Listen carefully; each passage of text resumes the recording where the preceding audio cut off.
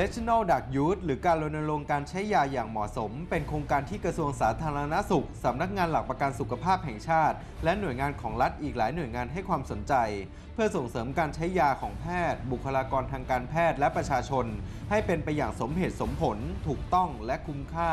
ที่มีผลต่อการรักษาร่างกาย ให้มีความเหมาะสม โดยได้รับเกียรติจากเภสัชกรเบญญาภาเพชรประวรักษ์ เภสัชกรคลินิก ฝ่ายเภสัชกรรม คณะแพทยศาสตร์โรงพยาบาลรามาธิบดี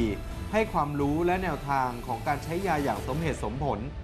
องค์การอนามัยโลกนะคะ ให้คำจำกัดความของการใช้ยาอย่างเหมาะสม หรือ rational drug use ผู้ป่วยได้รับยาที่เหมาะสมกับปัญหาสุขภาพ โดยใช้ยาในขณะที่เหมาะสมกับผู้ป่วยแต่ละราย ด้วยระยะเวลาการรักษาที่เหมาะสม และค่าใช้จ่ายต่อชุมชนและผู้ป่วยน้อยที่สุด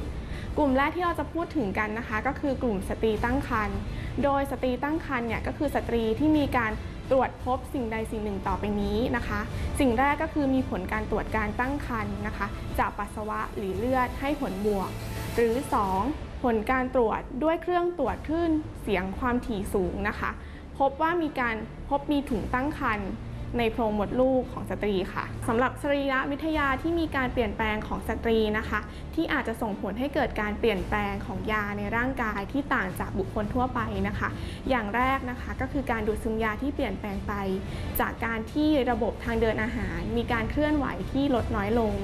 หรือการเพิ่มของปริมาณอากาศที่ในการหายใจแต่ละครั้งนะคะ ซึ่งอาจจะส่งผลให้ได้รับยาที่ผ่านทางเดินหายใจได้มากขึ้น อย่างเช่น ยาสูดพ่นนะคะ พวกยาขยายหลอดลม หรือการที่เส้นเลือดบริเวณมือหรือเท้า มีการขยายตัวเพิ่มมากขึ้นทำให้เลือดไปเลี้ยงบริเวณนั้นเพิ่มมากขึ้นนะคะ ส่งผลให้การดูดซึมยา พวกยาทาบริเวณนั้นก็อาจจะเพิ่มมากขึ้นค่ะสำหรับ การกระจายตัวของยาเนื่องจากในผู้ป่วยที่มีการตั้งครรภ์นะคะ จะมีปริมาตรเลือดในร่างกายเพิ่มมากขึ้น ดังนั้นหัวใจก็จะบีบเลือดไปไหลเวียนส่วนต่างๆ ได้เพิ่มมากขึ้น การกระจายยาบางตัวนะคะ ก็จะทำได้อย่างรวดเร็วมากกว่าคนปกติค่ะ ดังนั้นการใช้ยาในสตรีตั้งครรภ์นะคะ ก็จะมีความแตกต่างทั้งทางด้านประสิทธิภาพและความปลอดภัยจากบุคคลทั่วไป การเลือกใช้ยาก็จะต้องมีความระมัดระวัง เลือกขนาดยาให้เหมาะสม และสิ่งสำคัญนะคะ อีกอย่างหนึ่งก็คือการขจัดยาที่อาจจะผ่านทางรก ซึ่งยาที่อยู่ในแม่ก็อาจจะผ่านไปสู่ลูกได้ค่ะ โดยกลุ่มยานะคะที่มีการแนะนำให้ระมัดระวังพิเศษในกลุ่มที่ใช้ในคนท้องนะคะ หรือสตรีตั้งครรภ์นั้น กลุ่มแรกก็จะเป็นกลุ่ม ergotamine ค่ะ ในท้องตลาดที่เราพบกันก็จะอยู่ในรูป ergotamine tartrate บวกกับคาเฟอีน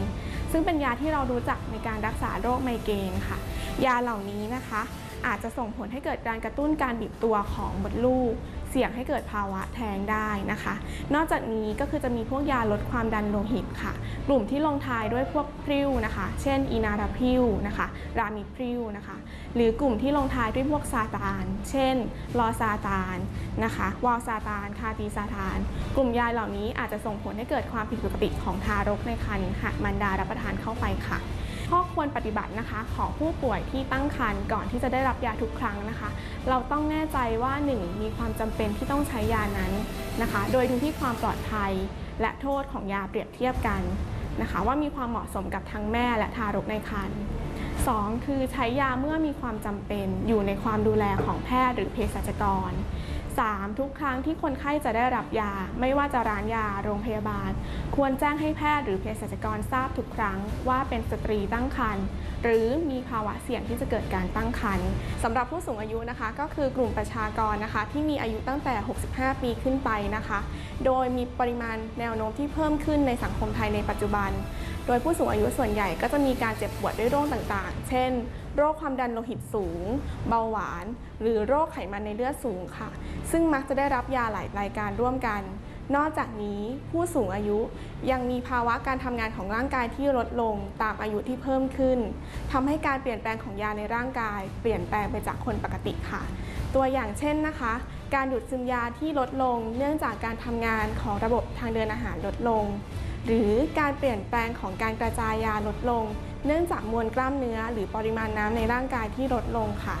นอกจากนี้การทำงานของไตที่ลดลง หรือการทำงานของเอนไซม์ในตับลดลง ก็ส่งผลให้เกิดการขจัดยาที่ลดลงค่ะ ดังนั้นอาจเกิดอาการข้างเคียงจากยาได้มากกว่าคนปกติ หรือเกิดปัญหาในการใช้ยาจากขนาดยาไม่เหมาะสม หรือเลือกตัวยาไม่เหมาะกับคนไข้ได้ค่ะสำหรับกลุ่มยาที่พบการใช้ได้บ่อยในกลุ่มผู้สูงอายุนะคะ ซึ่งมักจะซื้อมาใช้ทานเองนะคะ ก็คือได้แก่ 1. กลุ่มยาแก้แพ้นะคะ ชนิดที่ทำให้ง่วง เช่น คลอเฟนิลามีน brompheniramine หรือ diphenhydramine ค่ะ พวกยาคลายกล้ามเนื้อนะคะ เช่น orphenadrine ขนาดมากกว่า 200 มิลลิกรัมขึ้นไปค่ะ ยาเหล่านี้การใช้ในผู้สูงอายุ อาจเพิ่มโอกาสในการเกิดอาการข้างเคียง เช่น ปัสสาวะขัดหรือท้องผูกได้ค่ะ